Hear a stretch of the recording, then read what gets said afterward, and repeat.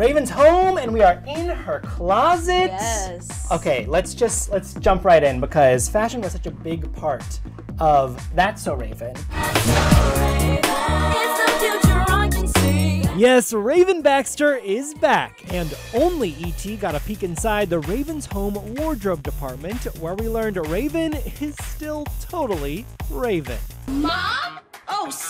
This is still Raven Baxter. She's still a fashion designer. Her personal style and the style of her kids is very important. But what we love is creative. We love taking pieces out of the store and putting things together. So one of the pieces that you're going to be seeing throughout the entire season and show are I'm gonna call them tricked out onesies. Everybody needs a good onesie with a butt pad. Um, let's keep going, right? Another piece that we have, which is actually a piece that you yourself can find, which is really cool. But the way we changed it is we cut the sides, and it kind of brings back what Raven Baxter used to do a lot in that. So Raven, which was a lot of embroidery. So we're bringing it up to you know the mother version of Raven Baxter. Mom, the weirdest thing happened. It's not always about you, Booker.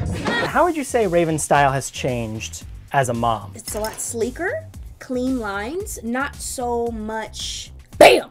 it's more like bam. You know, Ah. that's the best way I could explain. The sophisticated bam. It's a sophisticated. Instead of just salt, it's truffle salt. You know what I'm saying? Oh, I see. I see. We've stepped up our game a little bit. Just check out these shoes. So with Raven Baxter on That's So Raven, I wore heels almost every episode. A girl got smart and stopped wearing heels. so now we have a really fun collection of flat sneakers and also some gems in there from an old co-star of mine, Miss Whoopi Goldberg. She blessed me with some amazing shoes. Your motherly instinct has kicked in playing a mom on TV. Has that been weird for you? It has okay. Weird isn't the right word for me. I love it. I've always wanted to be a mother. I'm still looking forward to that day when I can. But I was trying my hardest to be as motherly as I can. But we also have a job to do. So it's a little bit of momagering, I guess. a little bit of everything because this is still a job. We're having fun, but we have a job to do and we have to get this show on the road. So Other than being a mom, how would you say Raven has changed the character in 10 years? um, Raven Baxter has not changed. I think Raven Baxter is still that fun, kooky, crazy, down for whatever, here for friends girl. And still having psychic visions. Always! Never going away! And one of her kids has psychic vision, so we're all good. We're all good. Can you give us the best psychic vision look to the camera?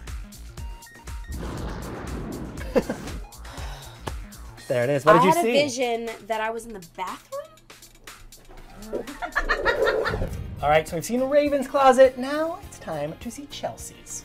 Oh, hello. Hello. Gosh, fancy meeting you here, Bryce. I mean, we're in Chelsea's closet. It's kind of fabulous. I think Chelsea's kind of dealing with um this her storyline being that she was really rich, you know, and um is sort of not anymore and kind of living with Raven because of financial difficulties. So Ah, yeah, so it's interesting to see her kind of wear her house clothes that might be a nicer brand that she's kind of, you know, not able to actually go out and buy. I see. It's very mom chic.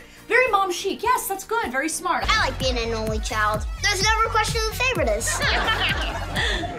It's me, right? Looking at Chelsea's style, it's a little toned down from the Chelsea we knew on That's So Raven. I guess. I think I was wearing like a lot of corduroy back then. but of course, I'm a mom now. I'm a parent. I have Right. to tone it down. You're, you're right. Other than being a mom, how has Chelsea changed in the 10 years since we last saw her? I think she's gone through a lot of life experiences. I think that'll play a little bit into um, Chelsea, whose last name is different now, and I can't really say. but I know. If you want to borrow anything, Bryce, you're more than welcome. You know I would, I just don't think it will fit. Okay, okay, no worries, Yeah. no worries. Um, we can do a costume fitting or something.